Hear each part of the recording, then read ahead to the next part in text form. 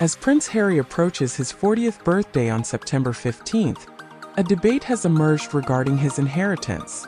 The Duke of Sussex is set to receive a significant sum of £7 million from a trust fund established by his great-great-grandmother, the Queen Mother. This financial windfall has sparked considerable discussion and controversy, especially given Harry's current relationship with the royal family. A recent poll conducted by Express UK posed the question, should Prince Harry give £7 million back to the royal family after inheritance is revealed? The results were quite telling, with 75% of respondents believing that Harry should return the money to King Charles. Only 22% felt that he is entitled to keep the inheritance, while 3% remained unsure. This inheritance has created a disparity between Harry and his older brother, Prince William.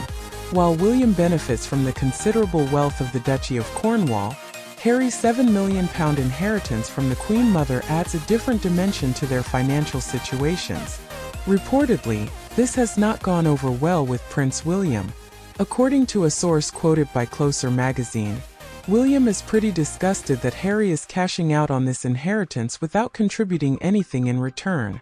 The idea of Harry benefiting from his great-grandmother's money, especially after his public criticisms and departure from royal life, leaves a bitter taste in William and Kate's mouths. The sentiment is shared by others within royal circles. Former royal correspondent Jennie Bond expressed that the Queen Mother would likely be disappointed by Harry's current circumstances.